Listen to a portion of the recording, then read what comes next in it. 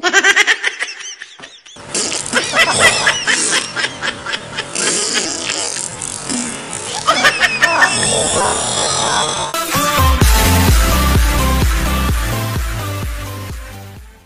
what up everyone? Ako na namang muli si Joe Fox Vlog mga kaibigan at ngayong araw, napakahaba na ng bigote natin mga kaibigan. Bigote at saka balbas. Ano ba? Tama ba yung tawag na yun mga kaibigan? Napakahaba na ng bigote natin guys. Kung gaano kahaba ang bigote natin mga kaibigan, ganun din katagal ang pag-upload natin sa YouTube guys. It's been a long time mga kaibigan na hindi tayo nakapag-upload guys. It took me one week mga kaibigan na hindi nakapag-upload sa YouTube mga kaibigan dahil dahil mga kaibigan sobrang busy ang uh, buhay natin mga kaibigan sa ating trabaho guys bilang isang uh, merchandiser dito sa Abu Dhabi mga kaibigan. So nasobrahan tayo sa busy guys kaya hindi na tayo nakapag-pagupit ng bigote natin at syempre, hindi na rin tayo nakapag-vlog mga kaibigan. So, ang tanong ko lamang sa inyo guys, how are how are you guys all uh, how you guys all are doing? Uh, tama ba 'yon? Kumusta kayo mga kaibigan? Kumusta kayo guys? Sa inyong mga buhay-buhay, sa sariling uh, pamilya nyo mga kaibigan, kumusta kayo dyan? Kaya tayo nagbablog ngayong araw na ito mga kaibigan. Kasi may tanong ako guys, nasubukan nyo na ba sa buong buhay nyo na maging isang boss? Dahil ako mga kaibigan ay sa buong buhay ko mga kaibigan, never pa akong naging boss mga kaibigan. At hindi hindi ko naman din pinapangarap ang magiging boss.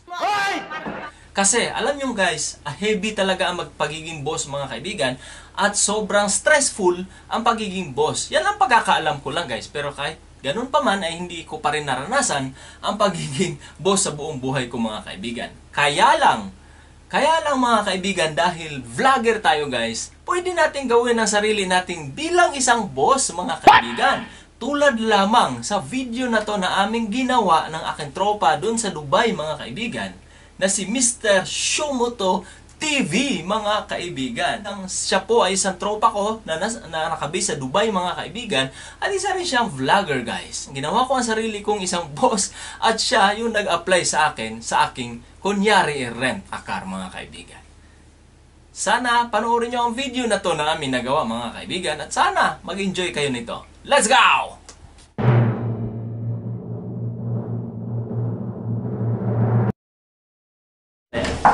Come in! Sir, good morning po. Ah, mag-apply sana ako ng ano, sir. Mag-apply sana ako ng trabaho, sir. Baka meron tayong uh, bakante po dyan, sir.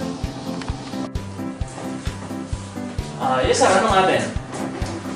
Ah, sir, mag-apply na po ako ng trabaho, sir. Ah, driver, baka may bakante dyan. Tingnan na CV mo. So,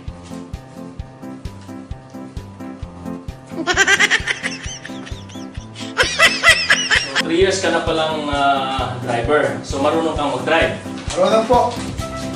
Okay, sige. ah, ako yung boss ng company. I-test drive kita ngayon. Okay ka lang? walang problema, sir. Anytime. Okay, tara, let's go. Sabi mo marunong ka mag-drive. Sige, test drive kita ngayon. Sige, go!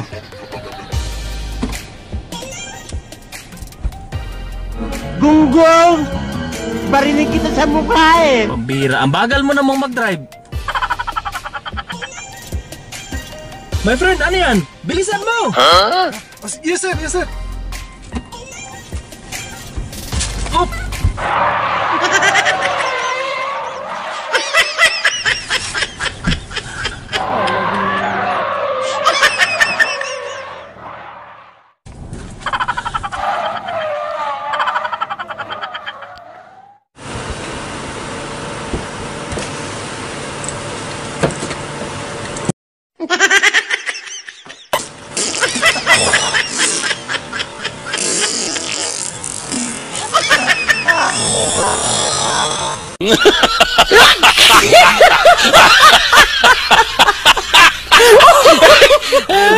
Dahil sa pinakita mong galing, ang galing mo palang mag-drive.